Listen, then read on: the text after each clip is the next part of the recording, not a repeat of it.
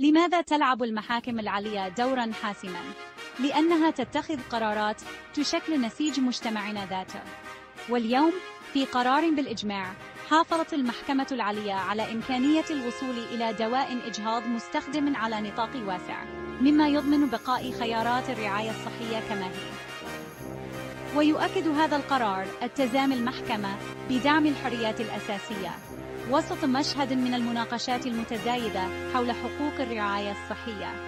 وبصفتنا من عشاق القانون من الأهمية بمكان ألا نتعرف فقط على النتيجة ولكن أيضا على المنطق القانوني وراء مثل هذه القرارات. ويعزز هذا الحكم أهمية الرقابة القضائية في حماية حقوق الصحة الفردية ويضع سابقة للقضايا المستقبلية. ابقوا على إطلاع وبقوا منخرطين. واستمروا في استكشاف التأثيرات العميقة لنظامنا القضائي.